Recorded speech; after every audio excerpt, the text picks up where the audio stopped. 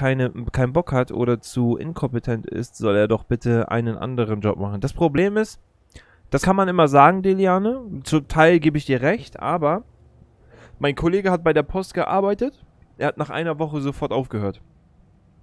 Wenn du wüsstest, wie die Mitarbeiter da behandelt werden und was da für äh, Strukturierungen laufen, auf den Job hättest du auch keinen Bock. Ich glaube, den Job macht nur irgendjemand, der nichts anderes kriegt. Das ist so, glaube ich, mein Ding. So, also, pff, Alter, Deutsche Post, also austeilen und dann die Überstunden unbezahlt kriegen. Einige, keine Ahnung. So ist echt scheiße, ey. Bei DHL ist das ja so noch okay, aber Hermes ist noch schlimmer. Ich finde, Hermes hier in Hamburg ist gut. Hermes hier in Hamburg ist gut. Wenn die ein Paket losschicken, da steht drauf, das kommt dann und dann an, die sind safe da. Die sind einfach safe da. Aber ich merke, DHL ist immer mehr überfordert. Normalerweise hat ja DHL gesagt, ja, Amazon-Pakete werden jetzt immer pünktlich geschickt. Ne? Also die kommen, die, die müssen immer pünktlich beim Kunden sein, die werden vorgezogen. Ich habe nur Amazon-Pakete, aber offensichtlich sind die nicht so wichtig. Bei dir ist genau das Gegenteil. Ja, bei uns hier in Hamburg, hier Bill steht die Ecke. Vergiss es.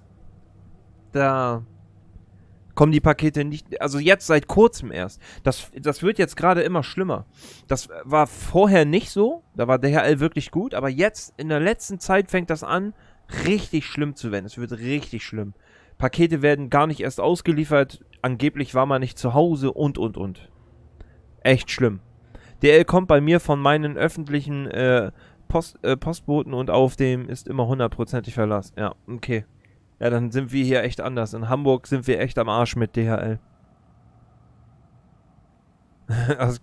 Ich glaube, das ist auch von Region zu Region echt verschieden mit DHL, Hermes und dem ganzen Scheiß, wie die Pakete kommen. Nur ich bin halt trotzdem getriggert, weißt du, weil ich bin Kunde und äh, ich, ich bestell was. Ne? Problem ist aber auch, man muss wieder so sehen, damals, wie lange haben damals Pakete gebraucht? Äh, wie, wie lange haben damals Pakete gebraucht? Damals haben Pakete vier, fünf Tage gebraucht, keiner hat rumgeheult, ne? Heute wollen sie alle, heute bestellt, morgen muss es sofort da sein. Das finde ich auch ein bisschen übertrieben. Also ich könnte, wenn das die DHL auslasten würde, auch auf ein Paket zwei oder drei Tage warten, aber dann möchte ich das gerne wissen und mich darauf einstellen und nicht diese Politik fahren, oh ja, sie war nicht zu Hause, wir stellen morgen nochmal zu. Und dann auf einmal, oh, wir konnten sie nicht erreichen, holen sie es am nächsten Tag in der Filiale ab. Hä? Dann sind auch drei Tage wieder vergangen, weißt du? Dann kann man auch sagen, okay, Paket kommt in drei Tagen, aber dann ist safe da. Okay, kein Problem, ich warte auch vier Tage. Aber bitte, schreibt das doch. Ne? Aber diese Pakete, wo immer steht, heute äh, gekauft, morgen muss es ankommen, das muss die Post ausliefern. Diese Pakete, die du bestellst bei Amazon, Leute, glaubt mir, habe ich schon probiert, diese Prime-Dinger, wo die schreiben, zwischen 18 und 21 Uhr abends kommen die, die kommen immer safe. Die kommen immer safe. Aber das ist nicht DHL, die liefert, das sind diese Amazon-Lieferdienste, die das dann bringen. Das kommt immer safe an. Und an dich, Racer, RSR, hallo, kann ich das Spiel auch am PC spielen? Äh, Google hätte da schon geholfen, aber das ist God of War und das gibt es nur für die PlayStation 4. Das ist ein Exklusivtitel. UPD? Meinst du UPS? UPS meinst du? UPS, ja, UPS. Äh, UPS ist, äh, UPS ist auch gut. Aber das ist halt diese, diese Politik, weißt du, die Leute bei Amazon, die bestellen alle und alles muss immer sofort da sein. Die wollen das. Dann geht in den Laden, wenn ihr das sofort haben wollt und bestellt nicht bei Amazon. das, ist halt so. wisst ihr, wie ich meine? Alter, wenn ihr das sofort haben wollt, dann geht in fucking Laden und kauft es da. Da habt ihr es sofort. Also, es ist halt, ja, damals hat ein Brief auch eine Woche gedauert und keiner hat geheult, ne? Ich weiß, ich habe auch geheult, aber ich warte jetzt schon auf das Paket vier Tage. Und dann wird mir noch zwei Tage hintereinander immer wieder erzählt, ja, wir konnten sie nicht antreffen. Oh, das liegt jetzt doch in der Filiale. Dann bringt es gleich in die Filiale, dann hole ich es da ab. Aber Internet ist es meist billiger. Ja, es kommt immer drauf an, was man will, ne? Was ich an DPD geil finde, die haben bei den Sendungsverfolgungen GPS. Da weiß ich sogar, wo der Postbote gerade ist. Ja, Jeez, das gibt's auch bei, das ist auch bei Amazon so. Wenn sie zehn Pakete vor deinem Treffpunkt sind und noch so ungefähr eine Stunde brauchen, dann siehst du genau, wo der in Hamburg gerade unterwegs ist. Ah, man biegt ja bei mir in die Straße und dann siehst du diesen Punkt vor deiner Tür und dann läufst du wie so ein Hund zum Fenster. Wo ist mein Paket? Wo ist mein Paket? Ich kenne das nur zu gut. Und dann hängt man so. Oh, Paket. Paket, Paket. ich weiß das noch, als ich auf meine 20, ach, ich hab mal, hab mal was bestellt und ich wollte das unbedingt haben. Leute, ich hab die Webcam, mit der ich jetzt gerade aufnehme, die habe ich aus meinem Fenster gehängt. Ich schwör's euch, ich mach keinen Witz, ne? Die habe ich aus meinem Fenster gehängt, so festgeklebt, dass sie die Straße, weil das ist nur eine Einbahnstraße, da kann man nur von hinten kommen, dass das dahin zeigt, die Kamera. Und jedes Mal, wenn Licht kam, Kamera an meinem zweiten Monitor. Bewegung. Welches Auto ist das? Ist das Amazon? Ist das Amazon? Meine Grafikkarte. Ich bin da so gesessen. Und mein Kollege, kommst du zu mir hoch? Ich sag, nein, ich kann nicht. Er sagt, du, was machst du? Ich sag, Digga, Post, Post, Post, Post, Post. Ich hab Kamera. Ich sehe die ganze Straße. Er kommt so runter, er guckt mich an, er sagt, Digga, was ist los mit dir? Bist du behindert? Ich sag, nein. Das Paket. das Paket. Es kommt. Heute. Die haben gesagt 21 Uhr. Bis da ist das Paket da. Und ich sitze da so vor der Cam. Auto. Licht, Auto, Auto. oh Gott, Alter. Das war, das war, das habe ich mal, das habe ich mal gehabt. Ehrlich. Ich bin immer aufgesprungen, wenn ich irgendwas gesehen habe. und dann hatte ich keinen Bock mehr, habe gesagt, komm, Kamera raus auf die Einbahnstraße, scheiß drauf, du kannst nur von der Richtung kommen, ich sehe dich. Du kannst nicht vorbeifahren und sagen, ich war nicht da. Ich hab dich auf Kamera. ich war richtig getriggert. Ich war richtig getriggert. Und dann kam er und bevor er bei mir klingeln konnte, so runtergelaufen. Ich so, Amazon, hier, drei Pakete für René.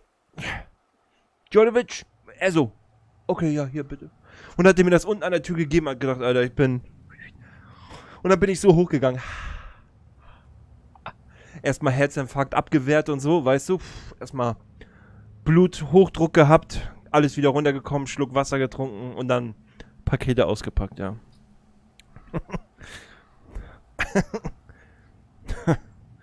oh Gott. Ja, das waren Zeiten. So, genug Vorbereitung. Jetzt God of War angesagt. Jetzt habt ihr mal eine Story aus meinem Leben gehört. Ich erzähle öfter mal sowas. Ja, es passiert, wenn ich getriggert bin. Auf die Post, liebe Leute. Wir spielen jetzt God of War weiter. Ein kleiner Rückblick. In der letzten Folge oder im letzten Stream haben wir die Hexe. Wir waren bei der Hexe, die eine Göttin ist und Freya heißt diesen Kopf gegeben. Die hat Maden in den Mund reingebackt. Und unten am Hals hat sie irgendwie rumgewischt. Den haben wir dann in, in so einen Bottich getropft und dann. Jetzt ist er wach und dann hängt ein Kopf an unserer rechten Arschbacke. Der kommt immer mit, quatscht zwischendurch ein bisschen. Und wir haben Thors Statue kaputt gemacht und viele neue Sachen entdeckt. Zum Beispiel unsere grünen Pfeile, die waren böse. Der Junge hat jetzt andere Pfeile, aber er kann immer noch genau die gleichen coolen Sachen. Und wir haben offscreen, offscreen bin ich ein bisschen rumgelaufen, wirklich nicht weit, nur ein ganz kleines Stück in eine Ecke und dann habe ich das hier gefunden. Jetzt denkt ihr euch wahrscheinlich, was ist das? Und ich sag euch genau, was das ist. Ich habe keine Ahnung. Da stand nur, als ich hier runtergegangen bin, Valkyren Arena. Mach lieber Loki seine Statue kaputt. Hey, nichts gegen Loki, okay? Nichts gegen Loki. So, und hier soll irgendwas passieren. Das sieht nach einer Arena aus, also werden wir hier auch definitiv irgendwie kämpfen. Glaube ich zumindest. Ja. Hier stand irgendwas mit Valkyrie. Keine Ahnung. Was das ist, wir gucken. Loki-Fanboy. Mm, ja klar doch. Loki ist der Beste. Red nicht über Loki. Hopp. Wo sind wir hier? Kann das sein? Die acht Throne? Lass die Spielchen. Was? Weißt du, wo wir sind oder nicht? Ich bin Mimir, der klügste lebende Mensch. Ich weiß viele Dinge. Ja. Was immer das hier ist, es sieht wichtig aus. Für wen? Hier ist kaum etwas von Wert.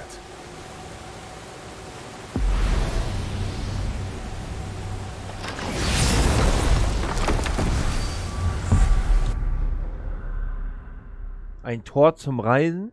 Was ist das denn für ein Shit? Ja, dann gehen wir mal wieder. Wow, wir haben ein Tor aktiviert, Leute. Boah, krass. Wow. Das ja... Holy shit.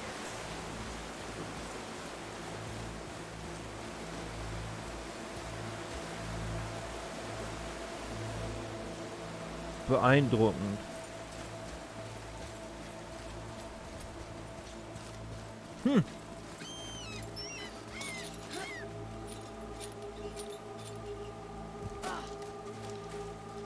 Ich hatte gedacht, hier passiert irgendwas Cooles.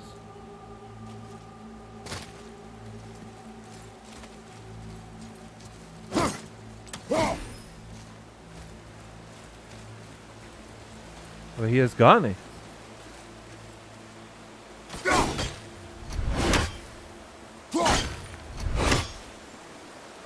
Sind irgendwelche beschissenen Sessel? Und das war's.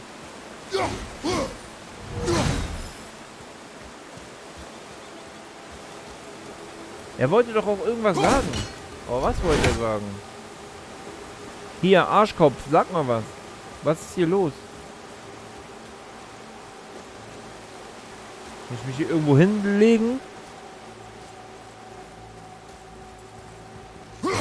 Was für Valkyren muss ich besiegen? Okay, hier ist offensichtlich nichts. Ganz toll. Ich denke, wir kommen in eine Arena und haben einen prunkvollen Kampf, aber... Pustekuchen. Naja. Dann mal zurück. Vielleicht ist er ja da später irgendwas oder so. Keine Ahnung. I have no fucking clue. So. Bing. So, wir haben... Genau, da unten ist ja der Schmied. Und ich wollte schauen, ob es hier noch irgendwas gibt. Aber ich glaube, hier gibt es nicht mehr. Bitte behandelt den Wetzstein mit der größten Vorsicht, wenn ihr ihn habt. Er ist eine unbezahlbare Reliquie. Aber da unten kann man offensichtlich irgendwie rein oder so. Also hier gibt es erstmal nichts mehr. Und wir wollen ja nicht gleich zur Mission. Ne, wir wollen ja noch ein bisschen abklappern. Deswegen wollen wir hier nicht gleich rein und dahin.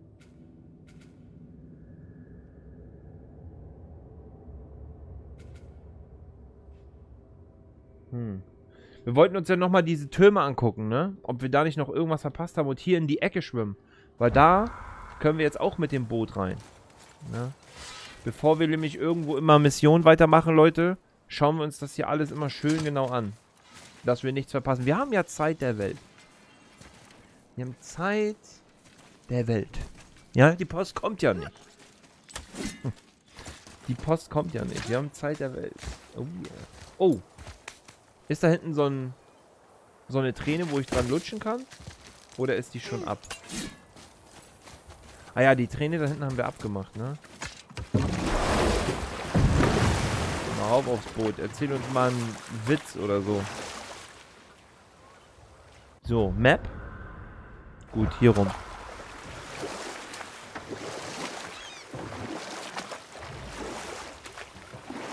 Du wünschst, du könntest die Erinnerung löschen und das nochmal spielen. Das Ding ist, man merkt bei mir einfach, ich bin übelst der Spätzünder, ne? Warum würde Freya Odin heiraten? Warum tat sie das? Sie brachte das Opfer, um ihr Volk zu schützen. Ein selbstloser Akt der Liebe. Wahrlich, sie verdient etwas Besseres. Aber natürlich war das noch nicht die ganze Geschichte.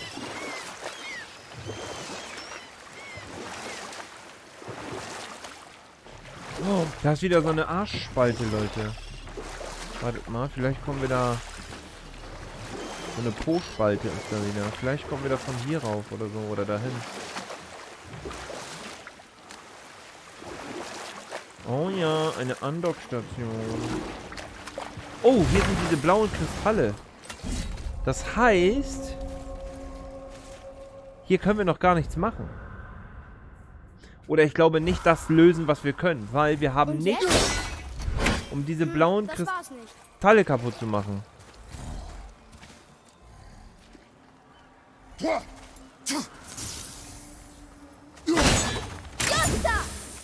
Nee, damit geht sie mich auch nicht.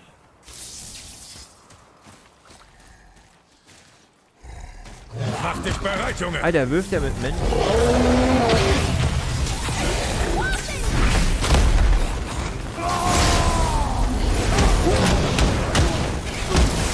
Oh, ich dir in die Backen.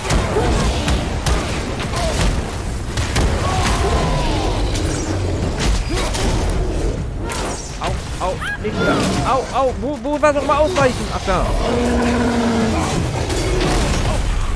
Weiter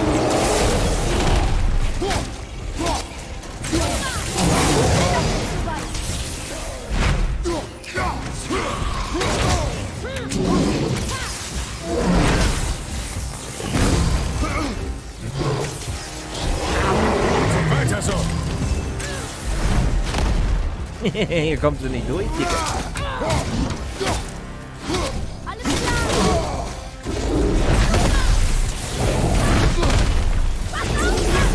Ja, ja, spann mir nicht an. Oh! Aua.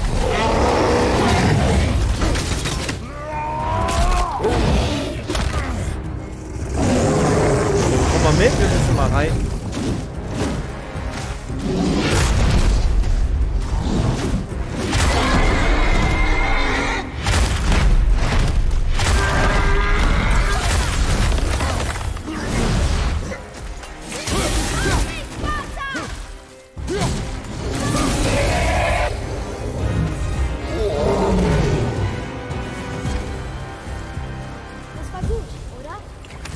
Fähigkeiten wachsen weiter.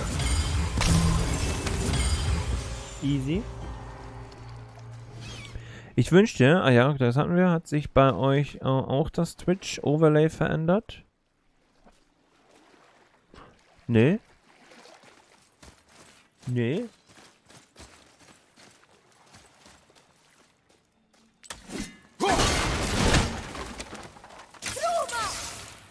Falsch. Richtig. So. Oh, wir haben wieder die die Steinmarkierung. Da unten kommen wir auch noch nicht rein, in diese Fenster da. Hier können wir eine Kette runterlassen. Da war was.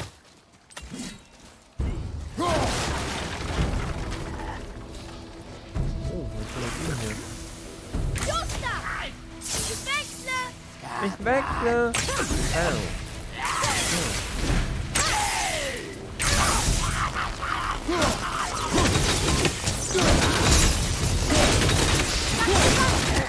Ah, das ist so geil, wie er da steht und macht.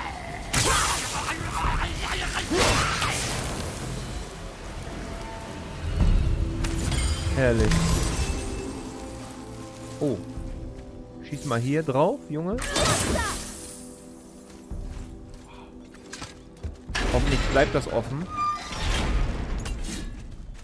Ja. Können wir das Ding rausnehmen? Ja, das können wir sogar rausnehmen, okay. Vielleicht brauchen wir das noch für irgendwas. Und ich sehe die Streamzeit nicht mehr. Ach so. Ja, das wird manchmal so komisch gequetscht. Wenn man die Seite neu lädt, ist das immer wieder weg. Also bei mir auf jeden Fall so.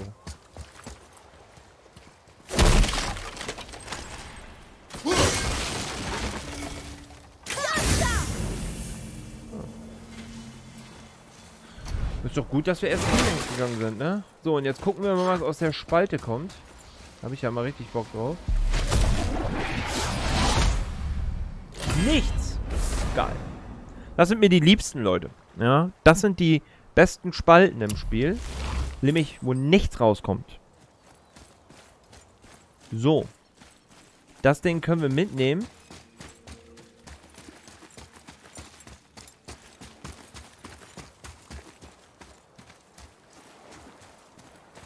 Da hinten ist auch noch so eine Träne, die wir vom Baum lutschen können.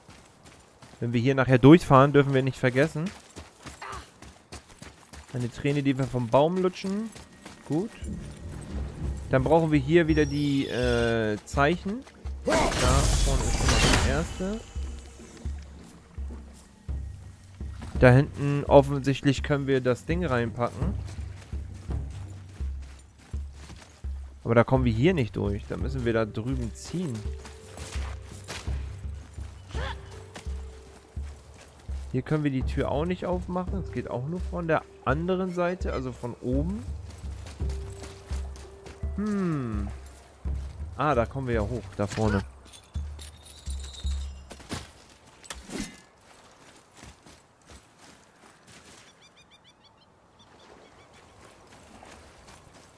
So, dann gehen wir hier mal rauf.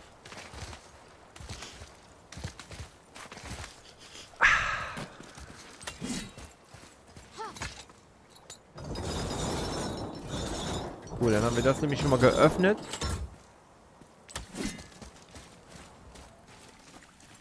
Oh, warum ist denn da oben so ein... Alter. Oh. Was sehen meine entzückten Augen hier?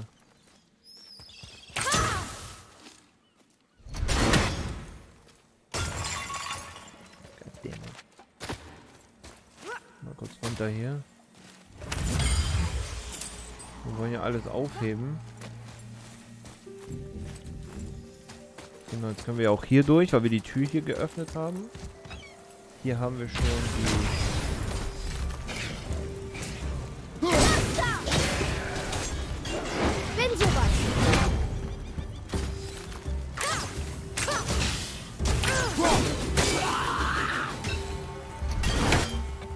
Da war meins auch noch voll übertrieben mit den fünfmal Treffen mit der Axt.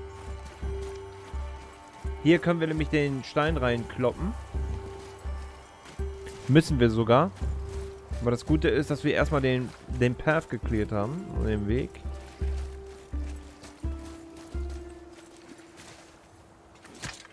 Ich versuche ihn immer irgendwo runterzutreten, aber das geht nicht. Ist freundschaftlich gemeint, ne? Nur damit ihr es wisst. Vater, sieh dir Ja. das mal an. Ja, mein Junge. So, wir müssen auch noch nach den Ruhen Ausschau halten. Wo lag der Stein? Ich glaube, der war da drüben, ne? Oder lag der und der lag unten? Der lag unten. Whoop.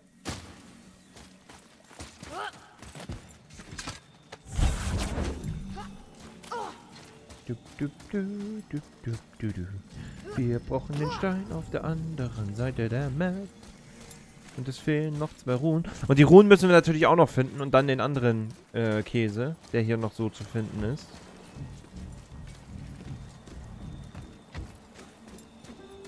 So. Dann gibt es einen bestimmten Weg darüber. Dann können wir auch hinten die Kette runter machen. Dann haben wir nämlich schon mal eine Abkürzung. Oh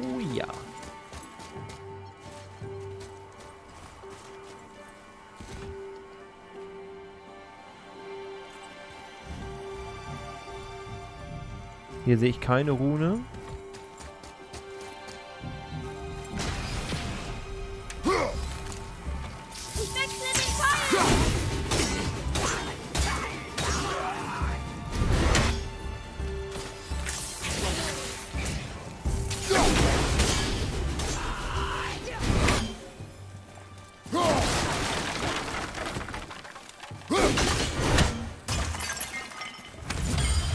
Dann können wir hier schon mal die Kette runtertreten.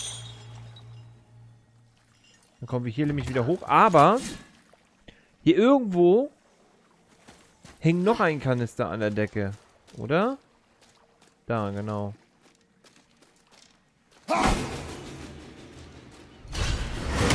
Und da vorne hängt auch noch was. Hat er dagegen geschossen? Nein, hat er nicht. Gut, dann haben wir die Kette nämlich auch schon mal.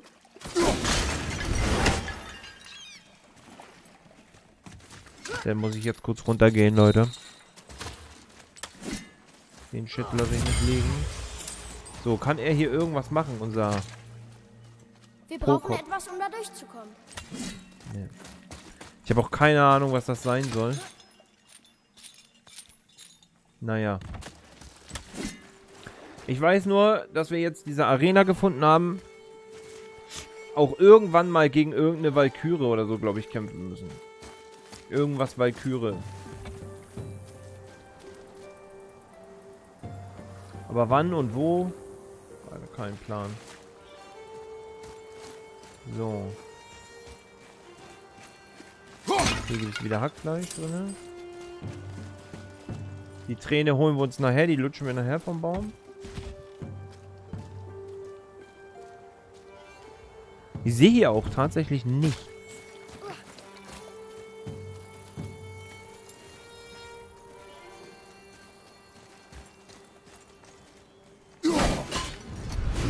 Das Zeichen triggert mich voll, wenn das da oben hängt.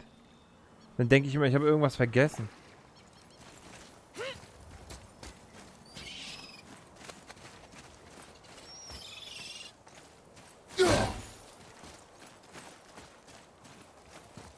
Ah, da ist wieder eins.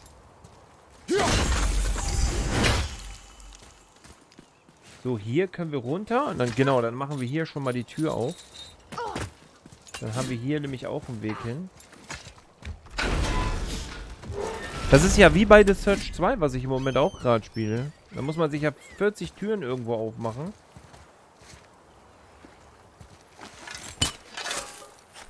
Ah.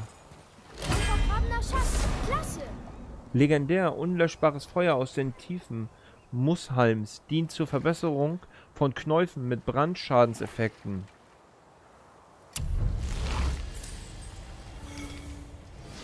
Geil. Geil. Das war wieder so ein Versteck, was wir mit diesen Karten manchmal gefunden haben, ne? Aber ich glaube, die finden wir auch eher aus Zufall. Anstatt die jetzt so übelst krass zu suchen.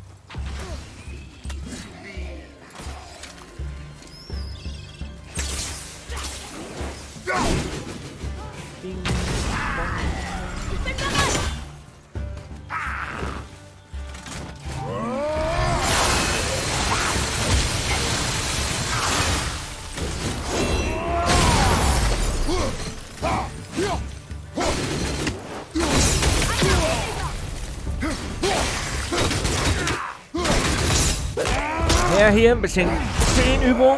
Oh, mal das Gesicht matsch machen. Geil. Da kommt Honig aus seinem Gesicht, ne? Da kommt Honig aus seinem Gesicht, Leute.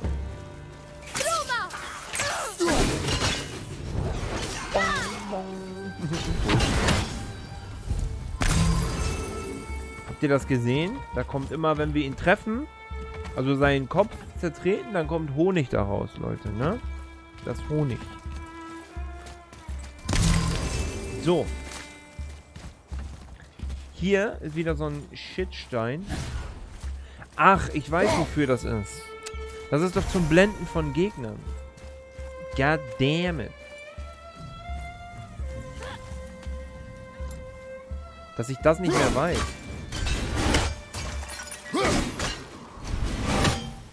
Schon peinlich. Wenn wir mit diesen anderen Dings dagegen schießen, Leute, wisst ihr doch. Da kommt doch immer dieser... Was hat das gemacht? Hier erstmal eine Kette runterlassen. Okay. Den Stein können wir mitnehmen, oder? Na, den brauchen wir wieder an einer anderen Stelle.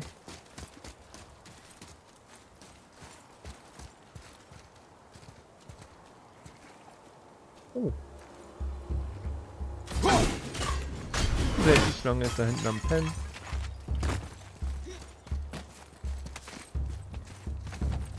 So, das ist hier runtergefallen.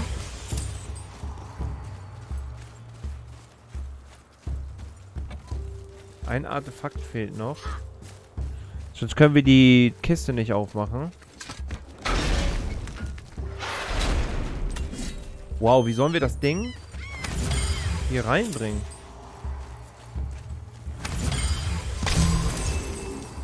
Können doch nichts rüberschmeißen oder so ein Shit, ne? Oder habe ich eine Abkürzung übersehen?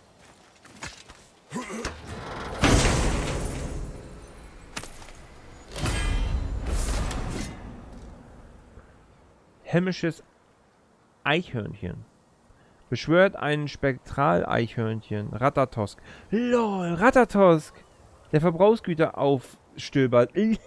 Ratatosk. Was?